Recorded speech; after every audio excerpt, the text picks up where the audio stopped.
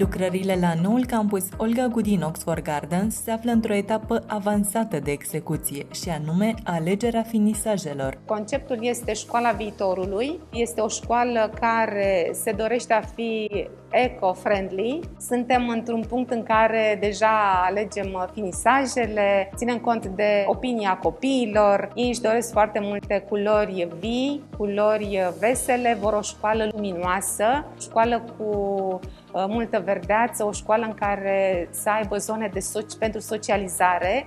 Coridoarele uh, au niște alveole amenajate special pentru recreații, astfel încât copiii de la diferite clase să se poată întâlni, să poată lucra împreună în diferite proiecte și uh, mini-afaceri. O să avem și un departament uh, de business în școala noastră în care elevii pot genera proiecte, pot uh, accesa chiar și fonduri și vor fi încurajați să înceapă de mici să devină antreprenori.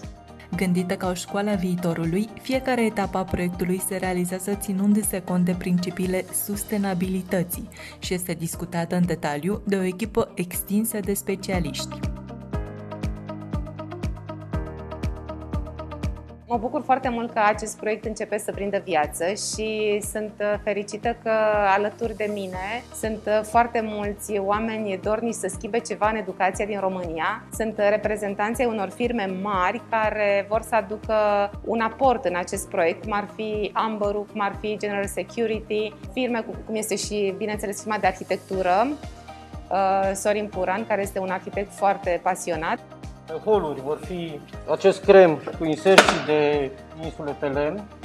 De aici a plecat cularea mobilierului și tapizeria de la scaune.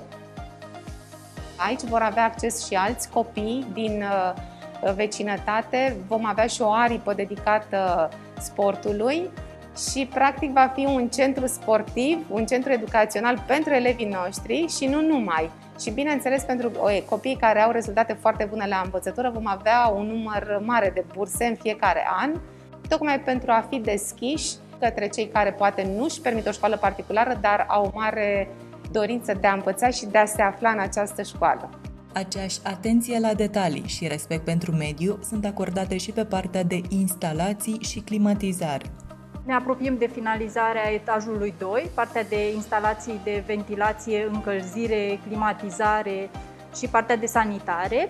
Pe partea de ventilație avem finalizate toate sălile de clasă, săli de clasă unde avem prevăzute sisteme de ventilație cu recuperare de căldură, sisteme de ventilație care presupun echipamente Daikin, echipamente cu o clasă înaltă de eficiență energetică.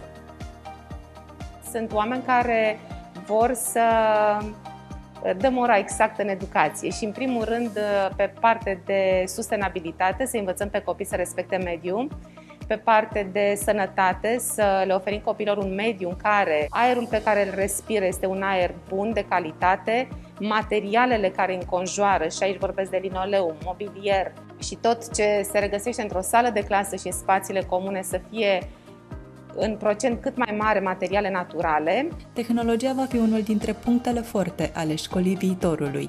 De aceea, fiecare sală de clasă este prevăzută cu un panou multibord și laptopuri pentru elevi.